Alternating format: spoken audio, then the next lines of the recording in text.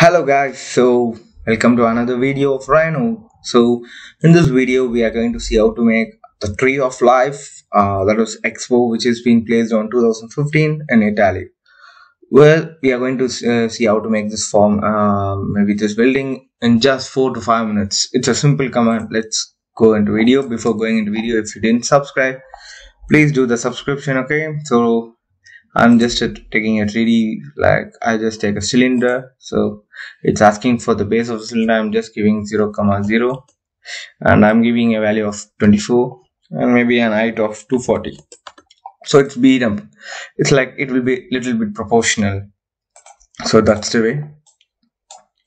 So I just draw a line to find the center. Mm, I'm just using this line and using copy command so I'm just copying it.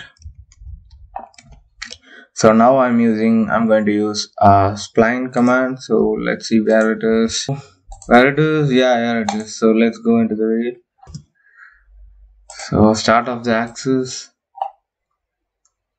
End of the axis. So I go with the turns too. So I'm just placing it over.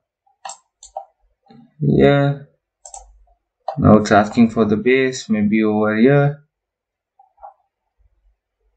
okay so so the spiral has been placed. I mean the spline has been placed so let's use polar array or else you can get the command from here. I'm just clicking over here. Now uh, it's asking to select the center. Maybe I'll choose this. Maybe item maybe 10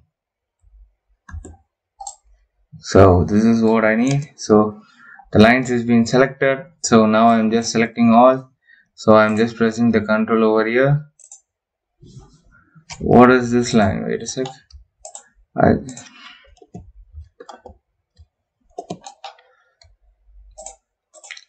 so I need to select the lines which are created. Let's uh, let's see last created object. So I've just used the last created object to select the lines. I need this line to be selected. Yeah. So now I'm going to use mirror command over here so it has been selected. So I don't re really need this part right now. I'm just deleting the line which I drawn. So this is the part which I need. So I'm just selecting this and using cage edit right now. So it's asking for the bounding box. Cage cage edit I'm going into bounding box.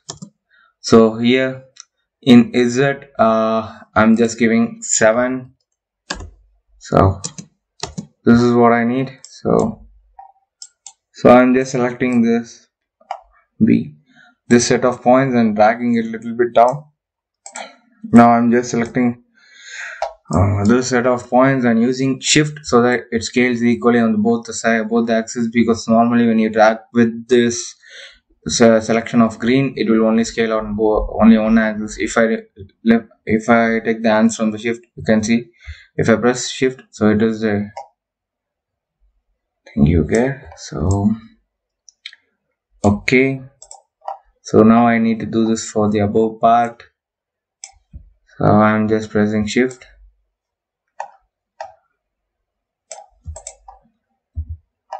Hmm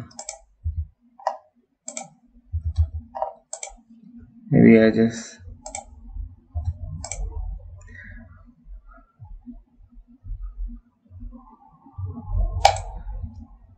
so this is fine. Okay. So this is fine. So I'm just deleting this cage edit which I don't need. So I'm just selecting all and using pipe command so when I select when I change it to render we got the shape so you can see. So let's keep both. Just see whether it matches.